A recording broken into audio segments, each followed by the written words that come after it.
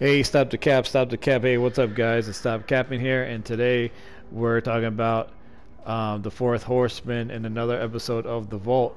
Uh, so, uh, without further ado, let's get to it. The Fourth Horseman is an exotic shotgun that has arc uh, arc element um, powers, and um, the impact is really good for this weapon in this game. Obviously, the reload speed is not the best. It's a lot better in Destiny 2. Um, in Destiny 2, it the reload speed is buffed up to at least 36% out of 100. Um, this one feels like about like barely 20%. And then with the catalyst, um, you get 76 um, out of 100 in Destiny 2. Now, the only difference in Destiny 1 is you got five rounds in the magazine instead of um, instead of Destiny 2. In Destiny 2, you get four. Uh, you only get five rounds in the magazine once you complete the catalyst and uh, Destiny 2, and um, and of course that reload speed. Um, but the perks here are really good. Um, we got Thunderer. Uh, this weapon could be fired in full auto, um, and you know it was unheard of on, at the time in Destiny 1 compared to other other weapons with like auto loading holster or full auto host, you know, full auto holster. Um, or you have the full auto mod now that we have in the game in Destiny 2. Um, the full auto mod came out a couple of seasons ago, finally. Um, you know, uh, not many of these weapons have full auto, you know, especially with um, the shotgun. I have like the comedian or herd champion for Destiny 1. So let's get to it uh, with the barrels. A CQC ballistics greatly reduces recoil, penalty of the range, as you can see. But for my character, I use Accurized ballistics because you get more range and impact and increased recoil. With field choke, you have more range and impact and increased recoil. So these two are very deceptive in terms of you know they have the same definition but if you look at the stats you looked at Accurized ballistics the Accurized rounds has more stability and you get the same amount of impact. And next up we got final round. Last round of the magazine deals more damage. So it has kind of like that Hawkmoon perk for the hand cannon exotic uh, um, hand cannon Hawkmoon you know you know last round in the magazine deals bonus damage and that's really good for a shotgun. So you can imagine how much you know DPS that's going to be. Uh, for the stocks, we got increased weapon stability. Um, as you can see, looks um, really good. Um, but for me, I prefer uh, more reload speed. But before that, we get to that, we get to uh, hand loaded. This this is effective at extended range uh, with the weapon.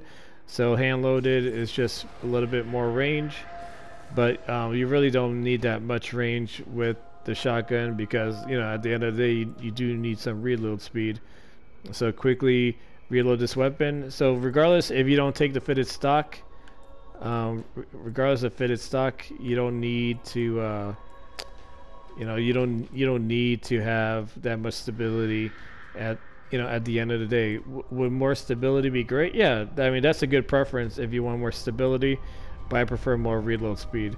And the last perk is Return to Sender. Kills with this weapon have a chance to grant bonus damage to the uh, bonus ammo to the magazine. So think about it. You know, killing people with this weapon will give you bonus ammo to the magazine. So let's uh let's kill some baddies. Oh, here we go. Here's a jabroni right here. Hey man. Look around. Oh! Yeah, I love shotguns, man. Ever since uh, Wolfenstein and Doom, uh, when you're able to pick up a shotgun, they really showed me in video games and first-person shooters, shotguns are a common denominator with your basic weapon loadout. Especially Resident Evil. Man, you just aim up high and uh, blow zombies' heads off you know, in the in the in the, in the original uh, Resident Evil games, you know, one, two, three, before they messed up all those damn mechanics, and four, they realized you can't cheese people with shotguns anymore. You still blow people's faces off. Alright, so I'm gonna show you guys with the with the bubble reload speed how much the reload speed is different. Here we go. So let's just say let's just let me kill these guys. So you can see you, had the full auto on that one. Two shots there, two shots there.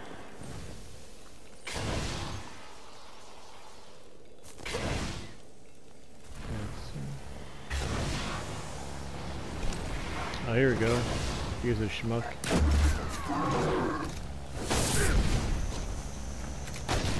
Look how much faster that is. Here we go.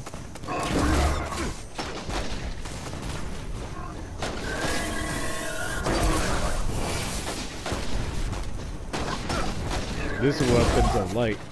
So I always like to compare damage with weapons of light. Really good. So hopefully the bubble doesn't go away. Uh, no. So you got to see a little bit of that.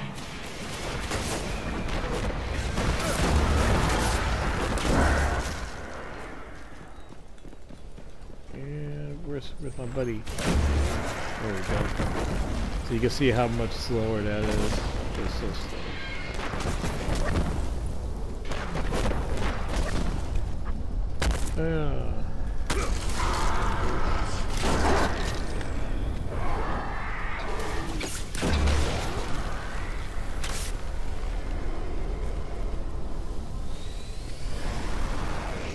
Get more?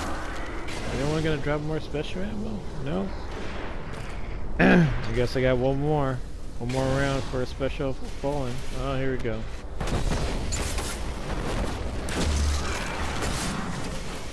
Yeah, that's all we got right there.